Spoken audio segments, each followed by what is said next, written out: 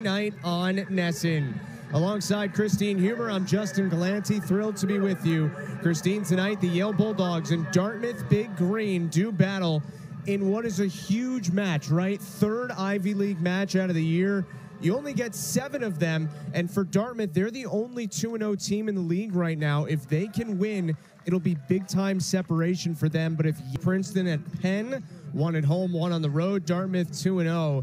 They beat Penn at home and beat be a real statement to go on the road and get results against Princeton like they already did and against Yale tonight, which they hope to. But we'll see. It's a very very young team on the Dartmouth side. It's a young Yale team, but they are both playing really well right now. Yeah. Here, which will be hosted by the number one seed.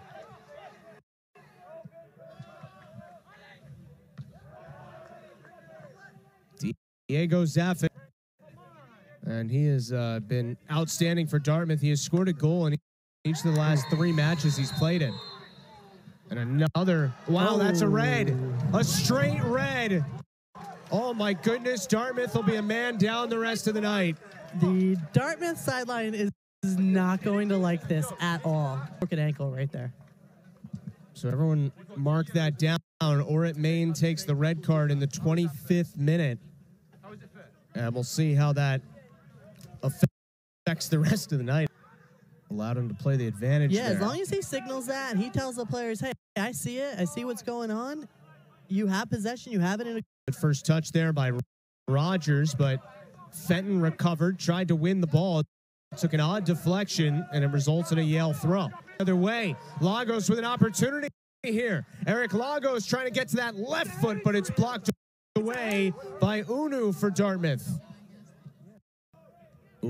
Manya, good touch for Sam Harshy. But a nice recovery by Alexi Uno, another one of those freshmen for Dartmouth. He's out of Paris, France, had an assist against Penn in the last Ivy League match. Left foot now. Rogers puts it in on Christodoulou! And it is in! How good is that? And we talk about the bend that he has on that ball. And I tell you, you're working on your tactical uh, setups. Here's Farouz working his way in.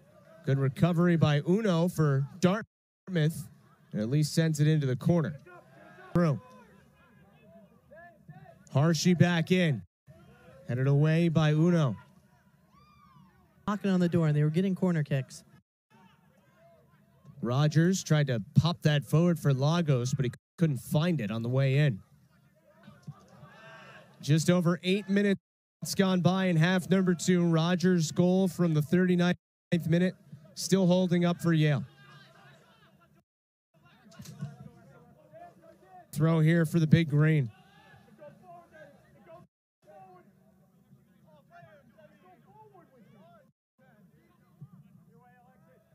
And here it is, right? Here's that direct ball.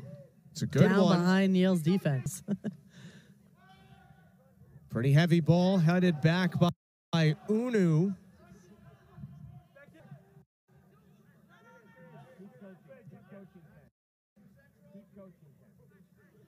Uno again.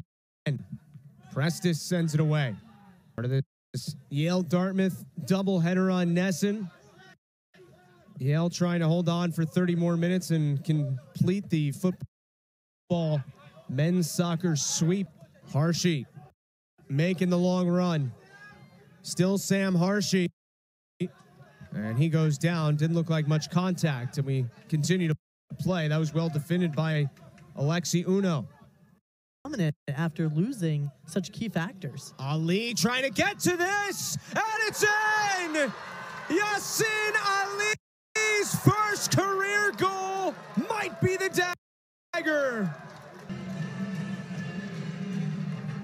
And this is just a complete hustle play, just staying with the ball. An unfortunate deflection there off Christodoulou, but is that, that Yassin Ali just scored his first goal of his career. Christine, prior to tonight, he had played 15 minutes all season. And Ryan. I was down there in the production room and wound up running into Ray Reed down here, just kind of supporting him. Six at 4 0 2. All that one minute away. And we all know, you know, what makes Qual. Pops it into the air. Officially, no more unbeaten and untied teams in the Ivy League. Yale knocks off Dartmouth 2 0. A huge three points at home for the Bulldogs. And this is just showing the parity of the Ivy League this year. I mean,